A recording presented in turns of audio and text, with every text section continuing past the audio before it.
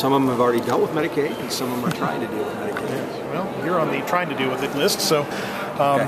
obviously, while you were gone, the governor on the controlling board. You talked a little bit about last week, but now that he's actually done it, can you speak a little more about your thoughts on the on the move and what he's trying to do? Well, I, I believe Monday he will be in front of uh, controlling board. Um, again, I believe in legislative issues, but on this issue, the legislature has given the governor authority a number of years ago. Um, we tried to take that authority away in the budget, and the governor used his line item veto to keep his authority. And so I think he can do it. The issue for us then is uh, controlling board uh, doesn't approve Medicaid expansion. The controlling board merely says that if you do Medicaid expansion, all that money goes in the federal funds account, uh, can't be spent for Medicaid. If we don't move the money from the federal funds account and authorize it to go over the Medicaid account, Medicaid goes bankrupt. Um, that money uh, from the expansion that the governor has authority to do will be spent down. And uh, current Medicaid recipients, you know, kids and, and, and moms and, and, people that are currently covered under the Medicaid program would not have, have services. Uh, I don't think that's necessarily a good result.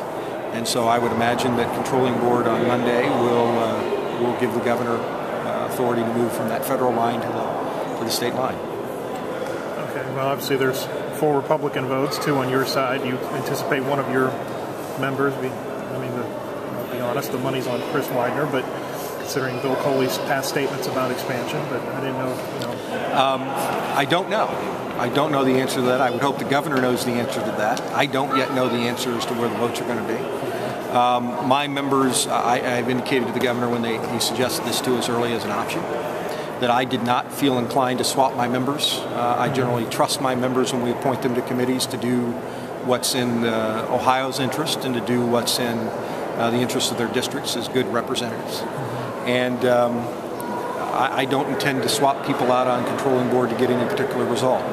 Um, I believe the governor has confidence that he'll have support, but I don't know. I haven't done the vote count. I don't know how, for example, Chris Revchin's going to vote. Maybe you do. Um, I don't know how uh, his chairman, Mr. Cole, is going to vote. Maybe you do. My guess is the governor does. Um, but from that perspective, um, my members on controlling board, I've encouraged to research the issue and make a vote that uh, you believe would best serve your constituents and best serve the people of Ohio. I mean, if, if it does, in fact, if they do in fact give the yes vote, is is this going to be a good thing for the state? Well, uh, you know, I'm not a, a, a, personally a huge fan of Medicaid expansion without knowing the other half of the question. What are we going to do when the federal money isn't 100 percent? And I think we're going to work on that. Um, from that perspective, to me, it's all about sustainability.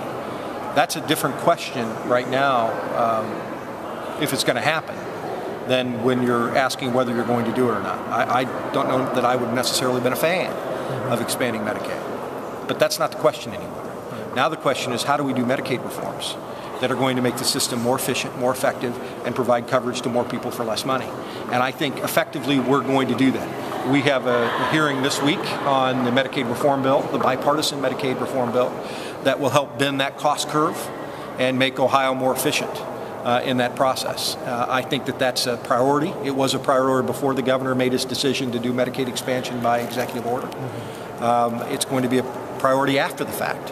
And so we anticipate getting that bill out soon. Uh, we're going to have a couple hearings next week as well. Uh, I don't know when we're going to vote on it.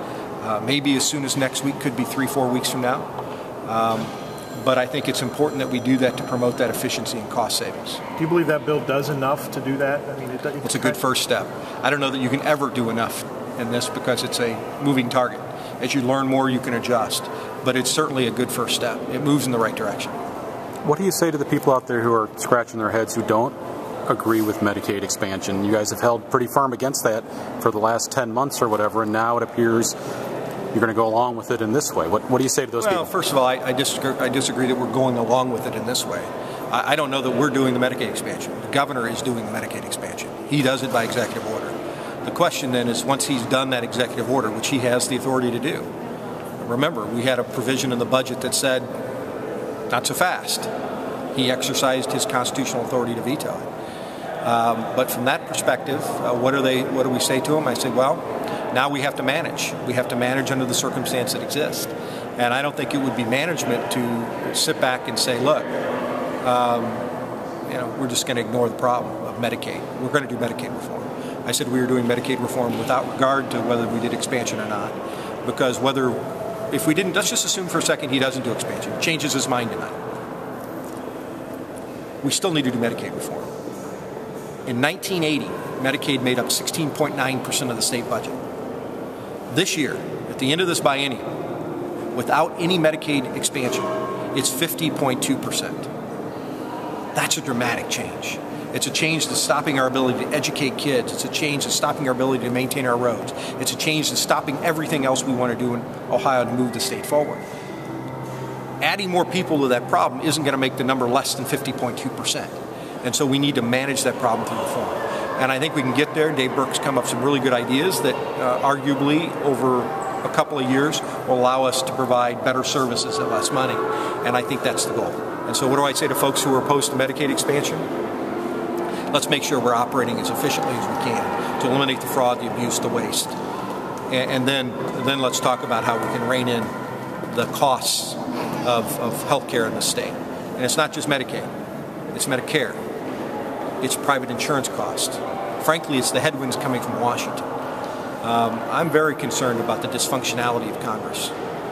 I'm very concerned about what employers are saying about us becoming a part-time economy because of the Affordable Care Act or Obamacare, depending which way you want to put it. I'm very concerned about what that means to our economic activities. While Ohio is doing far better than we were, and we're doing better because of state policies, focusing on jobs, and that's been our focus, jobs. What I'm also very concerned about is that the headwinds from Washington are impeding our ability to continue job growth. And you're going to start seeing an erosion in the good things we've done because of the headwinds from Washington. So my response to those folks is let Washington know you want Ohio to have autonomy and flexibility and tell them to block grant us the healthcare dollars and we'll do a far more efficient, better job of covering more people for less money. I'm sorry.